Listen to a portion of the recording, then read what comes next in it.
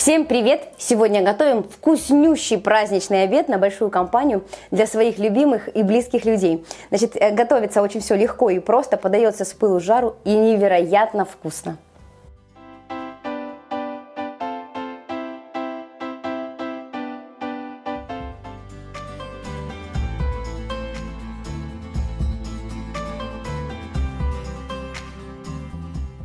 Подготовим масло. Значит, смотрите, у меня здесь где-то 60 грамм масла. Нет, 160 грамм масла. Но можно такое делать на любую пропорцию масла. Можно сделать на целую пачку и заморозить такие розеточки, как я сейчас буду делать заранее, и хранить их в холодильнике просто в морозильной камере на случай. Итак, сливочное масло. Оно должно быть мягкое, чтобы оно могло взбиваться венчиком, не твердое. Отправляем в чашу. И я беру укроп. С укропом мне нравится больше всего. Можно брать свежий, можно брать замороженный, если у вас есть, или даже сухой. Просто со свежим укропом ароматнее всего будет уже в итоге, когда вы эту розеточку масла положите на горячее мясо. Все, значит, дробим укроп мелко-мелко-мелко. Отправляем укропчик в масло. И обязательно масло нужно подсолить. Хотя бы чуть-чуть. На 160 грамм масла где-то чуть меньше, ну где-то четверть чайной ложечки соли я кидаю. Так, где-то вот так. И взбиваем. Взбивать нужно недолго, просто чтобы масло взбилось вместе с укропом. Теперь берем любой пакет или вот такой кулинарный пакет. Значит, что мы делаем? Можно отрезать просто уголок и делать такие розеточки, просто будут шайбочки. А можно взять любую насадку, какая вам понравится. Отрезаем край. Так, все. И теперь перекладываем все получившееся масло в пакет. Вот так. Я беру деревянную досточку, небольшую, обворачиваю ее фольгой. Вот так. И делаю вот таким вот образом. Смотрите. Величину таких розеточек можно э, регулировать по, ну, по тому, как вам просто нравится. Ну и от насадки будет еще зависеть, конечно. Отправляем в морозильную камеру. Через 20 минут они будут готовы. Потом, когда они уже приготовятся, и вам они уже не нужны, можно сложить их в пакет или небольшую емкость и хранить в холодильнике. Пока масло замораживается, подготовим картофель. Я заранее его почистила. Картошку нужно порезать. Я режу вот так. Это рецепт этой картошки, это рецепт моей мамы. Он есть у нее на канале.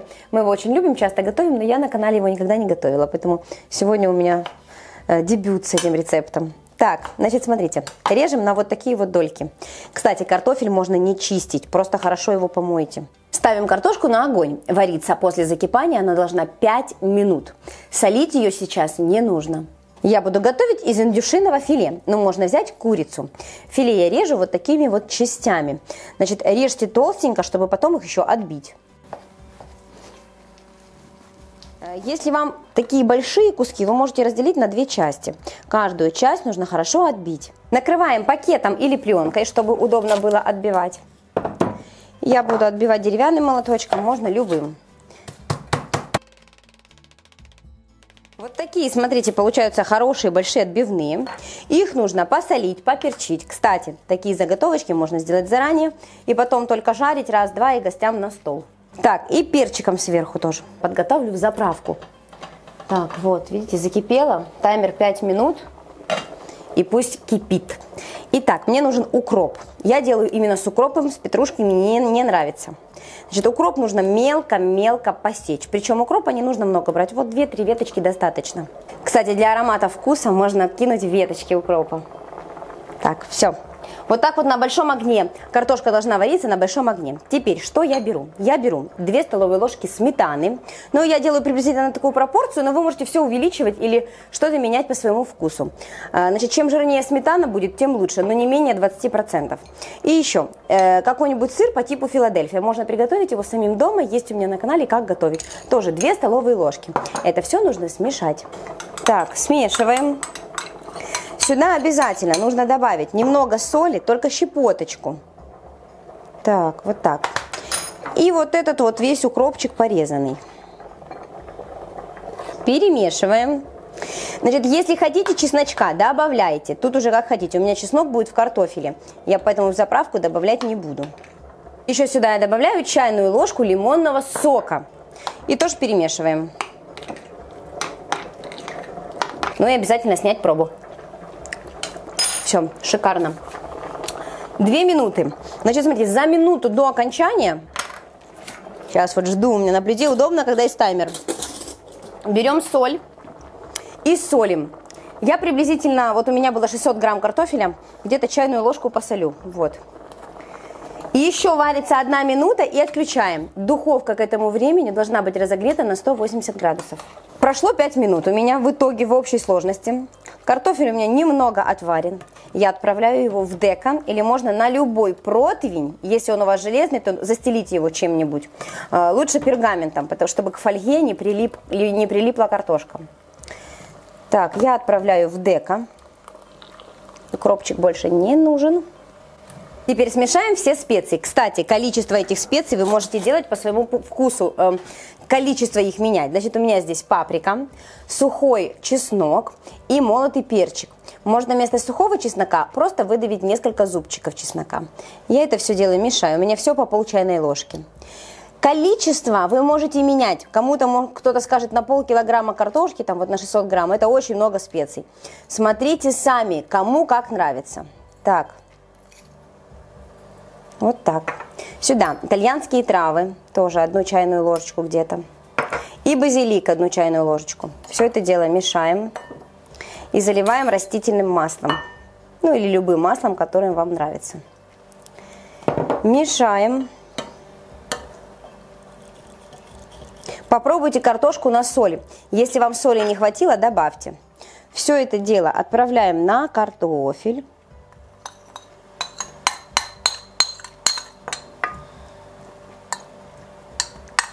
Можно сделать. Опа, опа, опа, опа. Перемешиваем и отправляем в духовку на 20 минут. Картошка уже сейчас супер ароматная. Так, отправляем в духовку и предос... пред... приступим к мясу. Жарим мясо. Масло должно хорошо разогреться, только не делайте слишком высокую температуру, чтобы оно и жарилось, внутри пропекалось, и сверху не горело. Значит, тут самый главный момент – не пересушить мясо я делаю буквально ну, по 3 минуты с каждой стороны. 3 минуты перевернула, 3 минуты и достаю. Ну, вы смотрите уже по вашему вкусу. Кто-то скажет, мне сырое, я буду дожаривать. Ну, то есть, как хотите. Поэтому имейте в виду, я начинаю жарить, если вот так вот на нас двоих с Димой, то я буквально минуты минут за 10 до готовности картофеля, ну, чтобы успеть все подготовить. А если вы жарите на большую компанию, у вас там картошка, то начинаете сразу готовить, как только отправили картофель. Переворачиваем. Смотрите, какие они красивые. Так, стреляет, конечно. Единственная жертва – это помыть кухню после готовки. Ну, в смысле, вот эту жарочную поверхность, потому что все стреляет. Но ничего страшного, это же вкусно. Так, смотрите, сразу можно сервировать.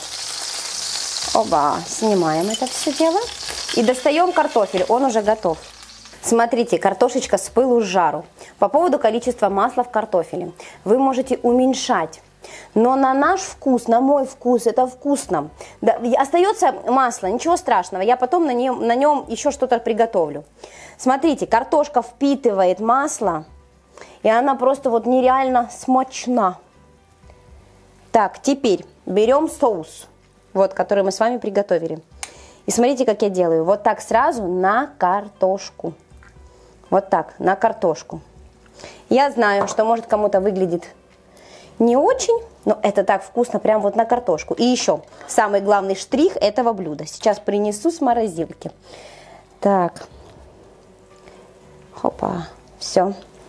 И масло. Такие резеточки из масла можно приготовить заранее вообще хранить их в морозильной камере. А теперь смотрите, как я подаю. Прям вот так вы подаете. Смотрите. И когда гость будет кушать, он берет вилочку, накалывает и делает так, чтобы все масло на мясе, на горячем, вот так вот растало. Смотрите, вот прям натираем, натираем, натираем. Что, вам уже хочется есть? Мне да. Мне тут так пахнет, так ароматно. Вот этот чесночок. Ой, смотрите, сколько масла. Так, я делаю вот так, чтобы прямо аж до конца. Так, ну что, пробуем, едим. Вы знаете, как вкусно это со сливочным маслом сверху. Мне даже чем-то напоминает котлеты по-киевски. Ну так, отдаленно. Бомба. М-м, еще лимончик сверху, я забыла. Вот так. М-м.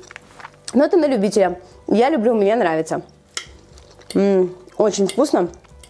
Желательно, чтобы вот эти стейки, они были большущие. М-м-м. Теперь картошка. Так, а теперь спасибо мамочке за вот такую крутую картошечку. Попробуйте ее. М-м. Картошка тает во рту.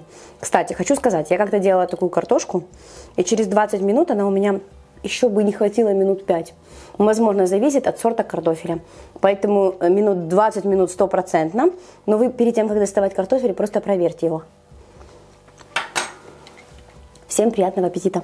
Вот такой вкусный праздничный обед для родных, близких, любимых. Спасибо, что сегодня были с мной. Ставьте лайки, делитесь этим видео. Вкусного вам обеда. Пусть все будет хорошо. Счастливых и хороших вам праздников. Пока.